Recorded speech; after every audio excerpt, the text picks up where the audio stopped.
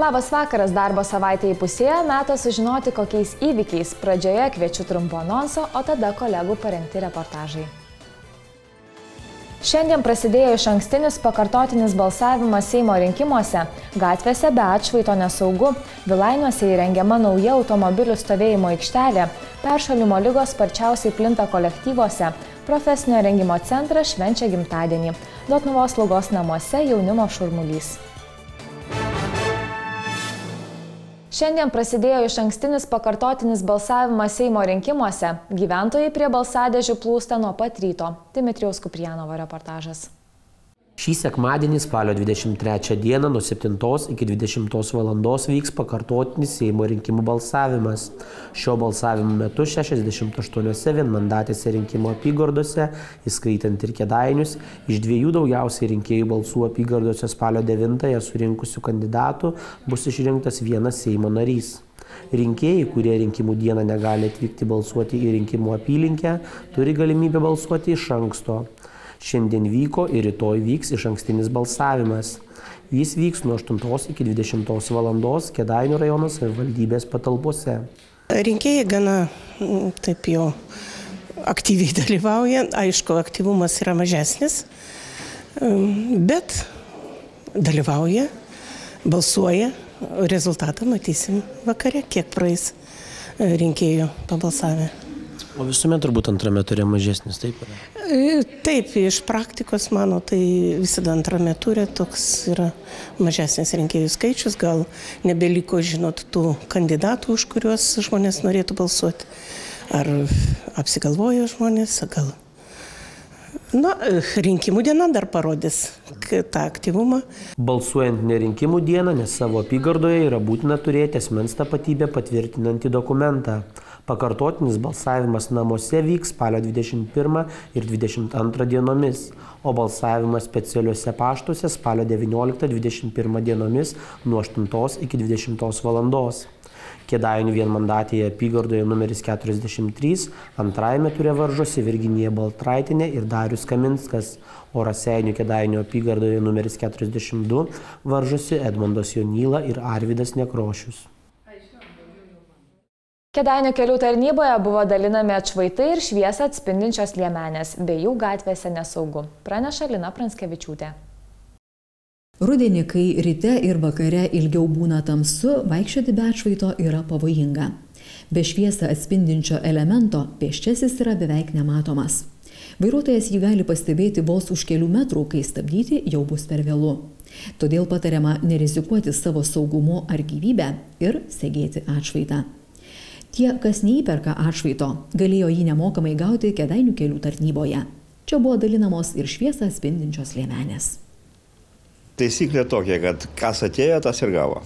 Kasmet Kauno regione būna išdalinama apie 10-15 tūkstančių atšvaitų. Įdomu, ar žmonės juos nešioja. Gavau dovanų ir nešioju. Gal būčiau negavus, gal būčiau nenešiojus, bet gavau dovanų nešioju. O savo artimiesiems draugams rekomenduojate nešioti atšvaitą? Ir anukam, ir draugam, ir bendradarbėm visi mes nešiojam, visi turim. Lietuvos automobilių kelių direkcija jau ne vienerius metus dalyja atšvaitus mokyklose, kaimo renginiuose ir netgi bažnyčiose. Eilę metų Lietuva privalo pagal mirtingumą keliuose ES ir pradėjus aktyviai skleisti žinę apie, apie saugumą, apie pačių gyventojų, žmonių saugumą, šie rodikliai ženkliai pagerėjo. Ir jie gerėja su kiekvienais metais. Tai, taip kad atšvaitas yra viena iš saugumo priemonių, kuri gali išgelbėti gyvybę. Kartais įvykus nelaimiai paaiškėja, kad žmogus turėjo atšvaitą kišenėje arba paliko jį namie gulėti stalčiuje. Iš to jokios naudos. Vairuotojai tokius pėsčiuosius be atšvaito vadina savižudžiais. Ar dažnai būna taip, kad jums bevairuojant kažkoks žmogus tiesiog išeina be atšvaito? Tai buvo, jo, ne vieną kartą. Gerai, kad nesmarkiai važiavau. Daugėja žmonių nešiojančių atšvaitus? Nu, kad nepasakyčiau. Labai mažai tamsius drabužius dėvė tai ir nemato niekas. Paskui kaltina vairuotoją. Negalima šitaip daryti. Reikia nusipirkti ir nešiot, nu, kad matytųsi pačiam saugiau. Atšvaitas turi būti segamas ant dešinės rankos virš riešo arba ant kojos žemiau kelio, tam, kad automobilio žibintai jį apšviestų ir pėsčiasis taptų matomas tamsoje. Saugumo keliuose raginami rūpintis ne tik pėstieji, dviratininkai ir vadėliotojai taip pat privalo vilkėti šviesą atspindinčią lemenę. Kitos naujienos. Vilainiuose rekonstruotoje Tuopų gatvėje įrengiama nauja automobilių stovėjimo aikštelė. Apie tai Dmitrijus Kuprijanovas. Vilainiuose rekonstruotoje Tuopų gatvėje įrenginėjama nauja automobilių stovėjimo aikštelė. Šioje teritorijoje prie daugiabučių namų iki šiol netilpdavo automobiliai. O kaip žinoma, šiais laikais mašinų kiemuose tiek, kiek namuose gyventojų. Kadangi gatvė įtin siaura, automobilių statymas čia tapęs opia problema, kurią tikimasi išspręsti įrengus automobilių stovėjimo aikštelę. Tuopų gatvėje darome mašinų stovėjimo aikštelę. Gyventojams bus patogiau, ko gero? Taip, bus gyventojams patogiau, nestovės ant gatvių mašinos. Vyksta pagal grafiką, gal iki švenčių dabaigsim gal tos darbus. Naujos aikštelės įrengimas atsieis nemažai. Visiems rangos darbams, kurie finansuoti iš kelių priežiūros ir plėtros programos lėšų, buvo skirta 22 800 eurų. Peršalimo lygomis daugiausia serga vaikai. Užkratas sparčiausiai plinta darželiuose bei mokyklose. Plačiau Lina Pranskevičiūtė. Peršalimo lygos į patalą guldo vis daugiau vaikų. 41 metų savaitę iš 278 susirgusių viršutinių kvepavimo takų infekcijomis 224 buvo vaikai. Tai sudaro daugiau nei 80 procentų visų dėl peršalimo į gydymo įstaigą besikreipusių asmenų. Šie skaičiai tik patvirtina faktą, kad labiausiai peršalimo lygos plinta kolektyvose. Nors tėvai yra įsipareigoję nevesti sergančių vaikų į darželį, kai kurie tai ignoruoja. Įstaigai tenka imtis visų įmanomų priemonių, kad lygos kolektyve neplistų jau kažkoks tai eina virusas, tai ir kvarcuoja grupės, tiesiog nelaukiant nei didelių protrukių, nieko, kars nuo karto pasima kvarcuoja grupės, taip pat yra priemonės, kuriuom naudoja ir, ir dažniau išplauna su, su, su drėgnų valymu, kad, kad ir labai svarbu vesti į lauką ir vedinti patalpas. Kartais tikrai dar didelė tokia problema, susidurėm su tėvų pasipriešinimu, dalis tėvų rodo nu, tokį nepasitenkinimą arba norėtų, kad vaikai neitų į lauką o prikvepuotoj patalpoj tai yra virusams terpė daugintis.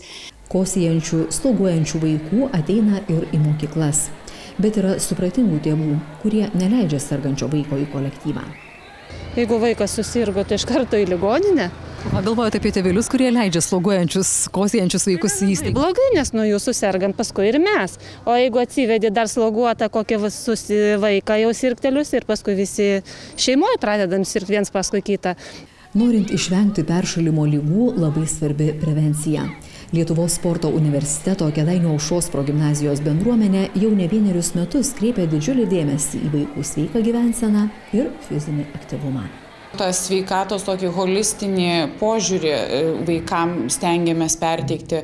Vėlgi vienas iš pavyzdžių, sakykime, mankšta rytinė, toliau, sakykime, ir tos judriosios pertraukos, ir baseinas, ir ko pasakoja visą laiką su vaikais yra kalbama, visi pedagogai aiškina, e, kaip reikėtų saugoti savo sveikatą, e, elementarūs dalykai dėl tos pačios mytybos, dėl sveikos gyvensenos, dėl fizinio aktyvumo, apie tai kalbama ir tiesiog yra integruojama į įvairias pamokas, būtent žinios apie sveiką gyvenseną, apie fizinį aktyvumą ir jo naudą žmogui. Tęsėme laidą. Kedainių profesinio rengimo centras šventinių renginių savaitę mini 15-ąją įstaigos veiklos sukaktį. Šimtai Kedainių profesinio rengimo centro moksleivių draugė su pedagogais žingsniuoja šventinę eiseną į miesto parką. Jų rankose balionų puokštės, kurios netrukus bus paleistos į dangų. Tokiu renginiu vakar įstaiga minėjo 15 metų veiklos sukaktį. Kedainio profesinio rengimo centras šitą e, šventę pasitinka tikrai po truputėlį e, su didėjančiu mokinių skaičiu, visų atsinaujančia ir modernėjančia mokymo baze, su apskritai geresnėmis gyvenimo ir mokymosi sąlygomis mokiniams. Tai manome kad tikrai ir paskutinius metus apskritai lietuvoje yra didelis dėmesys skiriamas profesiniam mokymui. Tai tikrai manome kad mūsų kėdainių mieste kėdainių rajone profesinių centras yra labai reikalingas kadangi kėdainiai yra pramonės miestas ir tikrai tos darbininkiškos profesijos yra labai reikalingas. Tai mes manome kad mūsų profesinio rengimo centro mūsų bendruomenės ir apskritai kėdainių kėdainių rajono visų visos bendruomenės tikrai laukia geros ir teigiamos perspektyvos. Mokausi automobilių elektromechaniką sąlygos kaip moksle tai jis iš tikrųjų geras. Malonu kalbėt su mokytojais bendravimas labai fainas tiesiog taipogi kad vyksta taipogi stažuotės mokytojai duoda daug galimybių taipogi tiesiog praktiką atlikti turime labai gerą garažą visą įrangą kurios reikia atlikti mūsų darbams taigi manyčiau kad mokykla ir jos aplinka ir visa kita yra labai gerai O tu pats jauti, kad profesinio rengimo centrai tarsi atgimimą išgyvena pastaruoju metu? Iš tikrųjų jo, nes mokykloje vis kažkas naujo. Pavyzdžiui, visokios, kaip minėjau, ir stažuotės į užsienį, nauja technika, kompiuteriai, tiesiog mus vis modernėja viskas laikui bėgant. Mokiausi trečius metus padavėja barmenė. O kaip galėtum įvertinti sąlygas mokymuose? Čia aš nuo devintos klasės ir man čia labai patiko. Kažkaip ir klasė, ir mokytojai. Įstaiga švenčia jubiliejų, ko galėtum palinkėti? Ir toliau dirbti ir niekada nenustot. Ir taip rūpintis mokiniais. Linkėčiau, kad mokykla būtų tokia pati, kokia ir dabar liko per tos 15 metų iš tikrųjų, nes mokytojai bei mokiniai labai šiltas bendravimas ir tiesiog labai fainas kolektyvas.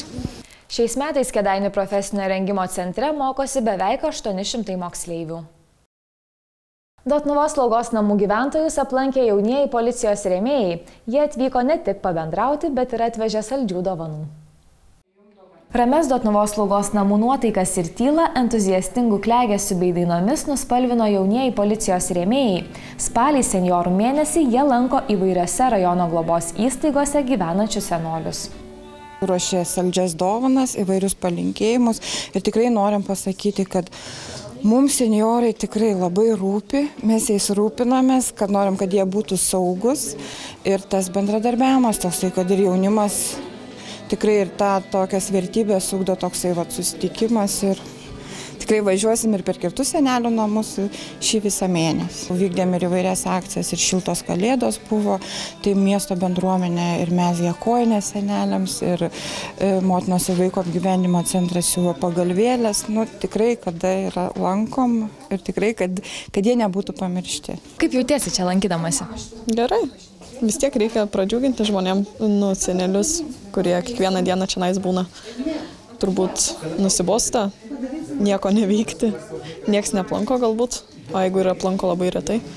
O su kokiais įspūdžiais išvažiuoji? Nu, šiaip labai yra asmeniškai graudu, nes matyti tos senelius, kurie negali vaikščioti, kurie palikti čia slaugos namuose, tai nu, šiaip visokių tai jausmų susikaupia ir, ir nežinau. Tai vis, visko būna, visko.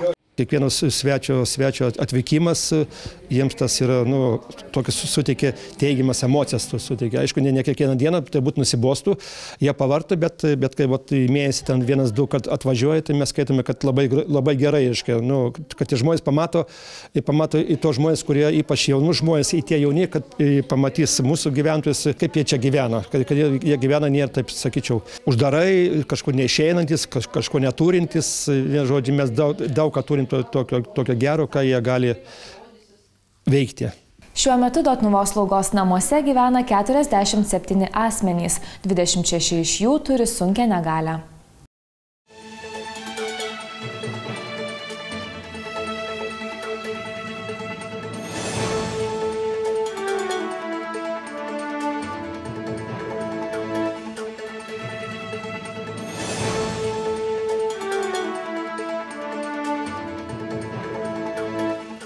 Tiek šį vakarą, netrukus laida sveikatos injekcija. Įdomaus laiko su mūsų televizija. Sudė.